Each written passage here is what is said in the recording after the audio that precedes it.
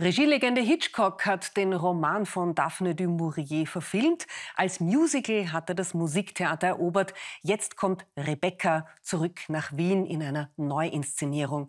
Das Stück ist Thriller und Love Story in einem. Premiere ist kommenden Donnerstag im Raimund Theater. Gabi Hassler mit einem Vorgeschmack.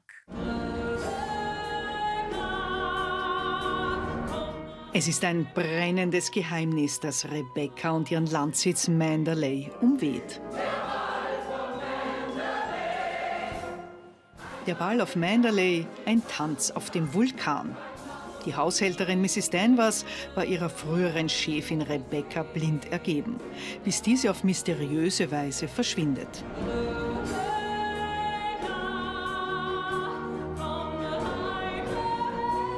Mrs. Danvers quält die neue Frau von Rebecca's Mann, die im Stück als Ich bezeichnet wird.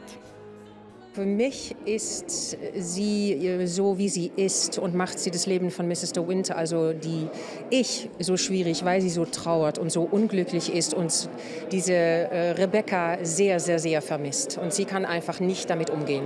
Mark Seibert verkörpert Maxime de Winter, der ein dunkles Geheimnis in sich birgt.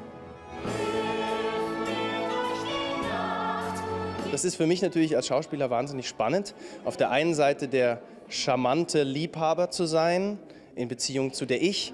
Auf der anderen Seite natürlich immer wieder durchblitzen zu lassen, dass da irgendwas ein Geheimnis in ihm schlummert. In Zeiten von Covid und Teuerungen sind die Theater nun doppelt betroffen. Aber wir sind zurück und werden kämpfen und werden die Leute verführen, zurückzukommen. Und wir merken, dass das Interesse auch wieder da ist, ähm, Theater zu besuchen.